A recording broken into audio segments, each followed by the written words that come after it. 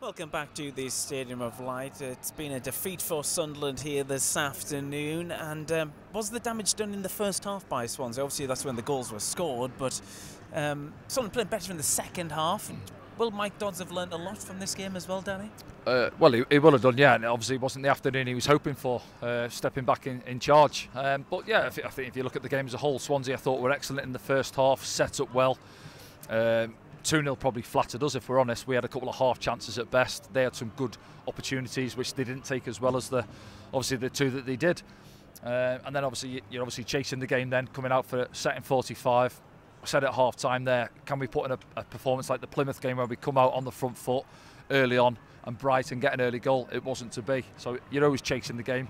You could say maybe Swansea took the foot off a little bit in the second half. We obviously improved a little bit. Yeah, we, we changed things a bit personnel as well. I thought Chris Rigg done well actually when he come on as well.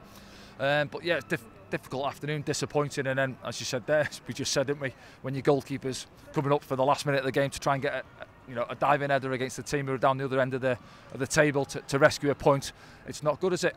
So it's a massive, massive blow. Yeah, disappointing afternoon, and yeah, as you say, where do we go from here? Well, I'll tell you where we go. We have to get ready to go again. Yeah, we have to get to ready to go to Carrow Road next weekend. Yeah. Um, let's have a look through the action then, and maybe discuss some of the some of the moments of which you're, you're you've been commentating on this afternoon, and some of the moments we've been speaking about just off mic there. And yeah. the first half, Swansea were quite impressive. And no, Sunderland weren't as good as we know they can be. No, they weren't. But up until this point, they'd had a few sort of moments in the game, and I think Ronald was was there bright spot, wasn't he, down that right hand side? And obviously, he's the one who's been the difference in the afternoon. We had one or two openings, and we spoke about Roos in there, where he's doing a lot of good work outside the box. You see that opportunity there with his left foot, doesn't catch it clean, but that's where you want to see him doing his work. Um, uh, sometimes I said maybe play a two up there, you know, give him a little bit of help in and around him because he's the one who's coming out. He's put two or three good balls into the box, and uh, and nobody's getting on the end of him. But I think is this the opening goal now? Yeah, this is the one, isn't it? Yeah, too much space here. I think we're in a good position with 3v2 out on this touchline, really. And I think it's Trai. I'm not sure. Does, he need some information from behind him? If we, if we see the build up again, he's actually in a good position. He goes back. Look at it now. Trai's actually pressing him. And he, knows he's got a runner behind him. He's got to get information there. I think Luke's behind him. Can he tell him to go and press the ball a little bit more? Jamie Paterson comes across there. Doesn't get anything on it, but he's in the eye line of Hjelde. Just see it there now. And then it's up past Hjelde. And then uh, Callum Styles is behind him, 2v1 at the far post. Anthony Patterson does well with the first one down to his left hand side, can't do nothing with the second one. And then Swansea in front and probably shaded the game up to that point and deserved their lead. And they had a couple of moments after. Here's these opportunities now. Um, is that Paqueta? That one was it Cullen? Yeah, it's isn't it? Comes across. He's looking for that opening, looking to get half the yard. He gets it eventually, pulls the trigger, and it's a good save from Anthony Patterson. Uh, but you can just see again from the clips what we had in the first half too many half chances at best. And again, Pierre there, he's having to pull the trigger from not 35, 40 yards, isn't he, to try and get a strike away. Uh, there we go again. Ronald's in again. Lovely ball across. And I think Paqueta coming in at the far post, he'll be disappointed. He hasn't took that away. Well, he is disappointed. You can see, looking at his reaction there, shirt over his head. Another opportunity for uh, for Swansea, and it wasn't too long after they go and get the second. Again, we get caught, don't we? You know, we, we've played out all season. And then you can see what Luke's looking to do. Looks to just feed it into Dan Neil, but credit to Joe Allen. He's on the front foot, presses really well, steals it off him, clips it out to, to he, Ronald. He looks there. like a good player, doesn't he? He Ronald? does, yeah. Yeah, we heard a little bit about him. I, I hadn't seen him play before today. Gets a little bit of space there. Again, that's the danger when you're playing. You sort of, you, your wing backs and you've got your outside centre back has to come narrow. Callum Styles is too far advanced, can't get back in, and it's a decent first touch to be fair. He cushions it just away from from uh, who's trying to get back at him, and then his second touch is a is an even better one, isn't it? Past Anthony Patterson, and then they're in the they're in the driving seat. Then Swansea, and again Trai, this one, it's there to be hit. It's it's, a little uh, deflection into his path, sitting up there, goes to, to sort. I think he's looking to try and cut across it into that far corner, and slices it wide. But there's these too many of these little moments in the game as well. We're, we're a young squad, but we're naive in, in, our defending from set plays at this moment in time, and we've got to learn fast because we almost get caught again. I think it's Abdoullah Ba on that one. They take the short corner, so immediately you've got to think something's happening here. I've got to get switched on, track me runner, and he doesn't. And again, it could have been Ronald for the hat trick, wasn't it? Yeah. Past the past the far post, and you can see the lads getting at each other. You know, they know it's not good enough. They don't need 35, 40,000 Sunderland fans in the stadium to tell them and you can sense it in it. I've been there as a player. It's not nice, but you've got to get through it. And they're going to these lads are going to learn from it, young lads. Um, you know, up against the team as well. You look at the last three games we've had. Huddersfield, who were struggling down the other end of the table. Birmingham, I know that I think they're up to 15th or so now, but they're right down there. And obviously Swansea, all teams that are at the wrong end of the table, and we've taken no points from those those three games, which is the a massive disappointment. And it looks looks like we're getting to that stage where you know, obviously the playoffs are away from us now. Yeah, just looking back through some more of these moments. That was pretty close that from Pierre. I didn't realise at the time because we yeah, didn't see from this this angle. But brushes the top of the net, doesn't yeah. it? Yeah, decent strike. Um, again, you can say one or two stepped up a little bit better in the second half, didn't they? We made a few changes, uh, but a lot of half chances. You know, if, you, if you're talking about a game at home when you're trying to dominate against a, a team who are struggling, who are coming off the band of some, you know, poor results. Uh, you know, admittedly against the, some of the top sides.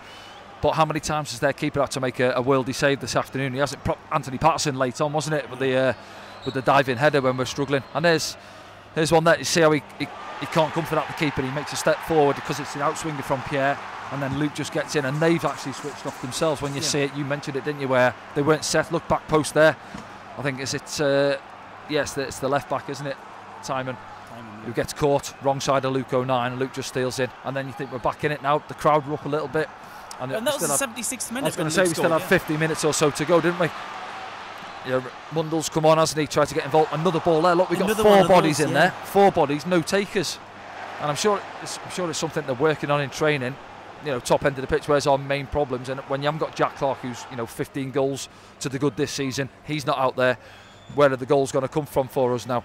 Um, obviously, it's been a centre back today from a set play, but in general, open play. We put three or four decent balls in, cutbacks, and nobody's there. And there's Anthony Patterson. You look.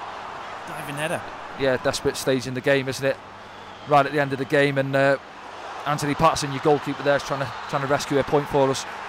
So yeah, another disappointing afternoon for us. Back at home as well, in front of a good crowd, and that's the, main one. And obviously for, for Mike Dodds as well, he'd have come here this afternoon, you know, stepping up again after those couple of good results he had against West Brom and, and Leeds. Um, obviously, the disappointing one against Bristol City, but coming up against Swansea today, he would he would have wanted to to get off the mark, so to speak, with another good result, but it's not to be. Yes. Um, we will look through at the uh, other scores if we can around the championship. Uh, okay, so there was an early kick-off. Hull City 1, West Brom 1.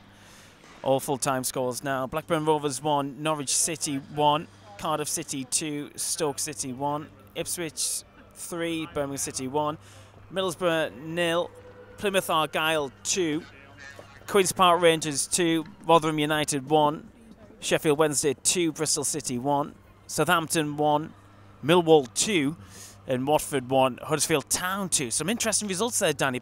Easy ones to pull out the uh, Millwall result, obviously. Yeah, away at Southampton. Yeah, that's a big one. And obviously Ipswich, I think we're, we're one all at half time, and they came through that one, didn't yeah. they? So, yeah, disappointing one for Southampton, isn't it? Um, and Ipswich back on track, top end of the table. Yeah. I wonder if we can see what that does to the table, and what does Sunderland's uh, performance this afternoon uh, leave them? Uh, it leaves them on 47 points, obviously, but that's sixth place now. Yeah. It's getting further away, isn't it?